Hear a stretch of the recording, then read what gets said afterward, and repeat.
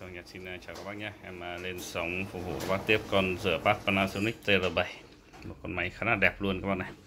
TR7 nhé Để mã số 19 Mặt mũi à, vỏ nguyên.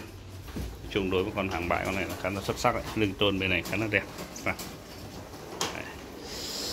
Nguyên zin, Con này nguyên zin hết ạ, Không làm gì. Lưng tôn bên này nguyên zin các bạn nhé. Đời hành 114 Series máy là 1085 nhiều bác cái bảo là cái lưng này giờ nó bị như này, nó thì nói thật, hàng bãi về con nào nó cũng không bao giờ tránh khỏi đâu. Các bạn nó là mức tương đối thôi. Còn nếu các bác muốn long lanh cái dòng này thì các bác phải mua hàng đấu giá nhé. Đấu giá thì cũng phải chọn thì mới có phẳng tít được. Còn tầm như những con này nữa là phải quá là đẹp. Nội thất khá là sạch mới không nước nóng bọc nữa nội thất khá là đẹp.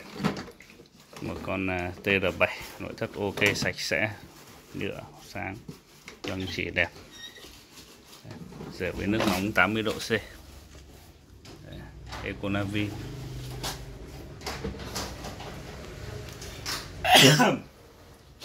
chiếc này thì em bán là 3 triệu 9 bảo hành năm chưa phí vận chuyển chưa biến áp. À, ship hàng đi toàn quốc ạ. phí vận chuyển đi toàn quốc 150 nghìn. Biến áp 500 mua bán đặt cọc trước 500 nhận hàng kiểm tra đúng hàng thanh toán nốt cho bên giao hàng. À, chào các bạn.